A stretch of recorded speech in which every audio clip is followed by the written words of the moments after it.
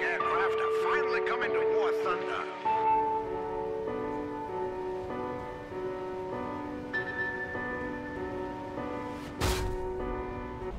Alright everybody, welcome back. So I figure I could go ahead and cover a plane that I at least have very fond memories of. Uh, this is the F-100. Now, the F-100 was added to the game back, I think it was 1.85 in Supersonic, and it was the first supersonic plane that I personally unlocked. Now, even though it was worse than the MiG-19, I still had a very good time in it, and I have a lot of very fond memories. So I figured I might as well go ahead and revisit it. And you may be wondering, well, Lee, why are you playing the F-100A? You know, clearly A is below D, so the D must be better, right? Well, not really, at least not for ARB. So the F100D is slightly faster, and I mean only its top speed.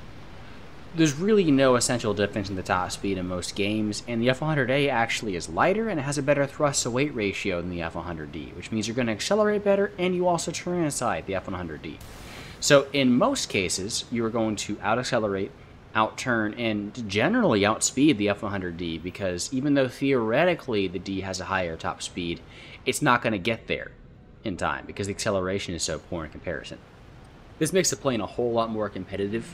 Uh, the D is still not terrible, don't get me wrong, but having this extra flight performance is really, really essential, especially when you're fighting stuff like F5Cs a lot.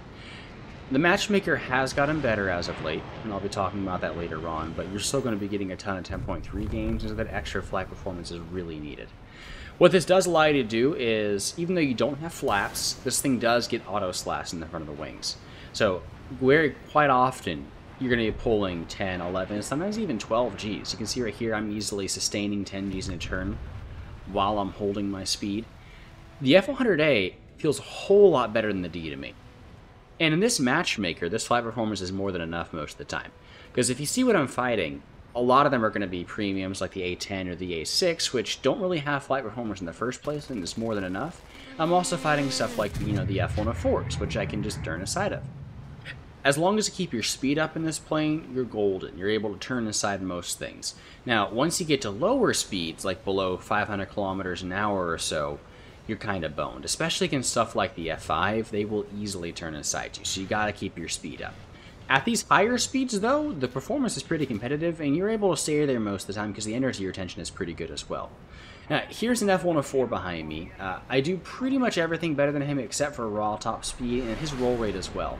Now, I'm not sure what exactly he was thinking, uh, but he decided to be, it would be a great idea to, after I whiff my shot on this A6, uh, to go ahead and start air braking and turning with me when he could have just run away and there was nothing I could do because I'm also low on gas.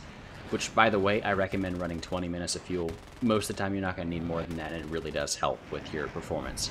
Now, I do whiff a ton of my shots. I am not the best with this plane uh, when it comes to aiming.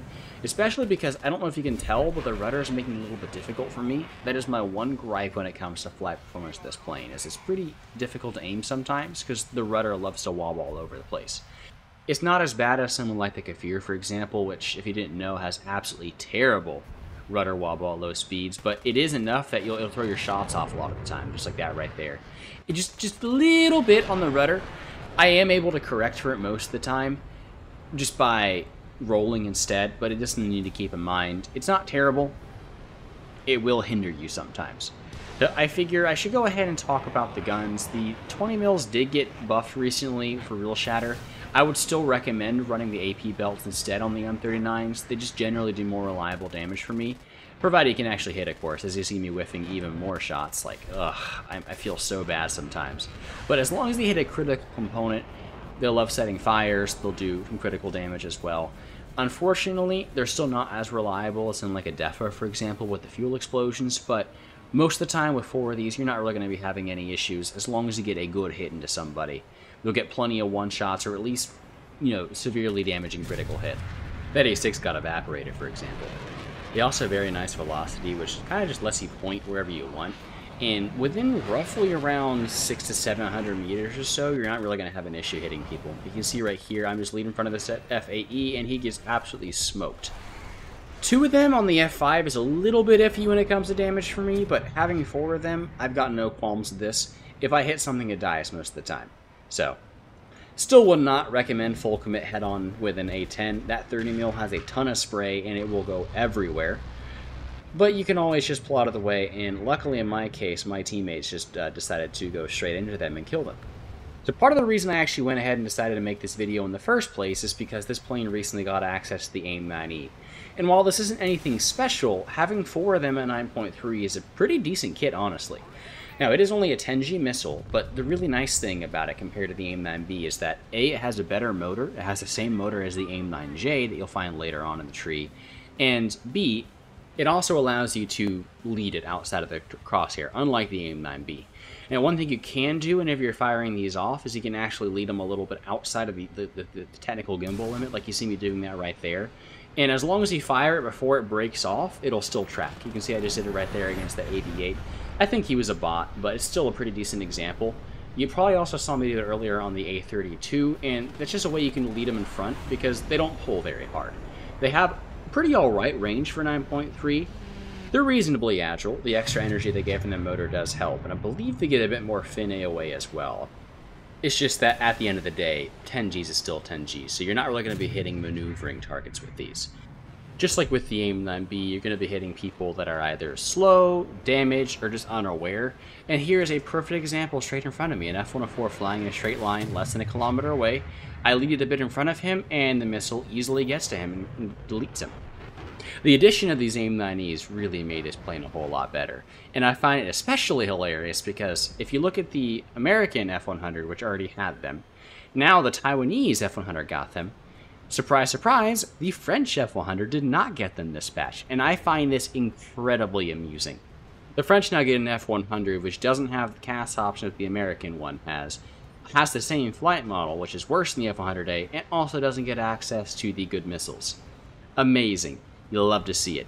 Uh, speaking of which, if y'all want to stick around, I am actually going to be doing a video on the French F8, which, for some reason, doesn't get flares, which is just amazing. You can probably expect that's not in the next month. But regardless of that, this plane is an overall pretty solid pick for the battle rating now. I've actually been getting a surprising amount of down tiers playing 9.3. I've been seeing a lot of 8.7 and 8.3 games. Now, I think that might be specific to your matchmaker. Like, I've been playing a lot of, of course, the F100A, and I've been playing a lot of the Hunter FGA9, which is British. So I'm not 100% sure if it's all of 9.3 or if it's specifically, you know, the British and the Chinese matchmaker. If you would like to, feel free to let me know in the comments below. How's your 9.3 matchmaker been lately? Because I hope it gets better. I really enjoy playing this battle rating. It's just that with how many flareless planes you get here, it really does not help when you're trying to play, you know, your F100 or something else, and you're having to fight AIM-9Ls and R60Ms every game. So I'm hoping that this is a trend and we're going to start seeing a lot more of these down tiers to 8.3. You're at least not getting 10.0 and 10.3 every single match. Because it's just not fun playing a flareless plane and having to fight missiles from the 70s. Like you have to do with, you know, this A-10 beneath me, which has four AIM-9Ls, four 30G all-aspect missiles, and is still able to see me.